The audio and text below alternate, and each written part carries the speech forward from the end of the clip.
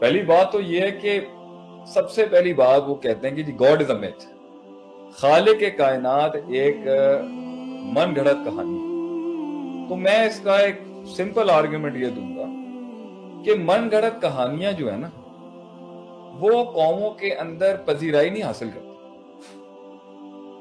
मन गढ़त कहानियाँ कभी भी कौमों में पजीराई हासिल नहीं करती।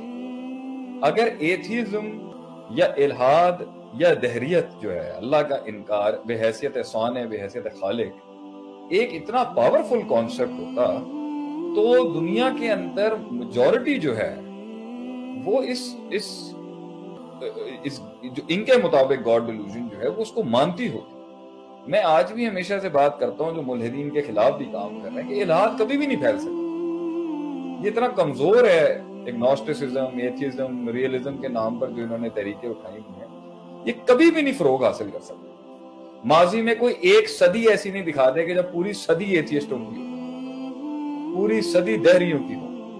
पूरी सदी सिर्फ़ इस कॉन्सेप्ट पे खड़ी हो। है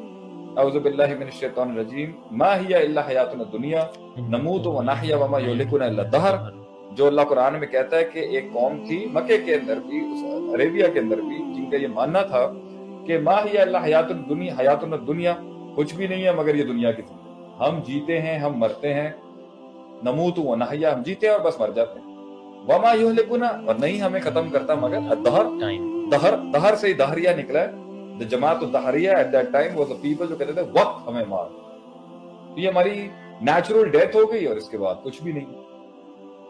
पॉइंट ये है कि कभी भी इतने पावरफुल अकायद नहीं थे दुनिया ये कभी भी उस पावर में नहीं आ सके कि इनको, इन्होंने कोई मुल्क बना लिया हो, ठीक है, या इन्होंने कोई रियासत बना ली हो, या इन्होंने दुनिया में किसी नज़रिए के मतलब कि कभी भी इतने पावरफुल नहीं थे।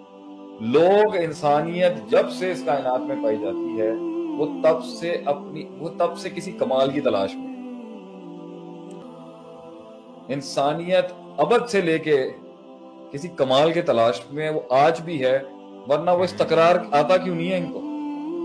ये बेचैनी ये बेसकूनी ये हरकतें ये हरकत ये मुहरकत ये बे, ये जो सकन नहीं है उनकी ज़िंदगी में ये दलील है कि वो तलाश कर रहा है कुछ। और वो तलाश कर रहा है जिसका ताल्लुक इस कायनात के मादे से नहीं है।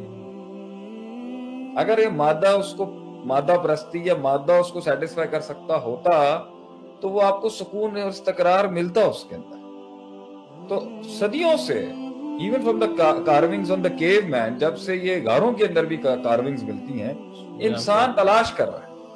एक बड़े का कॉन्सेप्ट जिसको हम कह सकते हैं बड़ा कह हाँ। अपने से ज़्यादा कामिल चीज़ को तलाश कर रहा है। विदाउट उसका कॉन्सेप्ट बाय डिफ़ॉल्ट हमें कायनात में नहीं मिलता।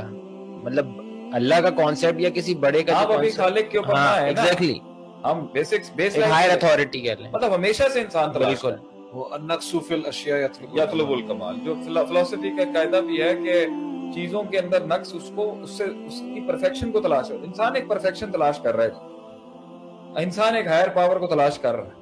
इंसान एक हायर पर्पस को तलाश कर रहा है जिसके लिए वो इधर उधर बॉम्बियाँ मार रहा होगा छलांगे मार रहा होगा गुलाटियाँ मार रहा होगा तहकीक के दर, तहकीक के दरवाजे खोल रहा होगा लेकिन तलाश उसकी खत्म नहीं है।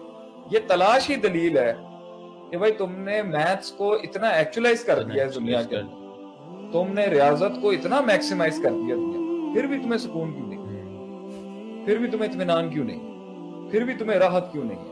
इसका मतलब कोई है?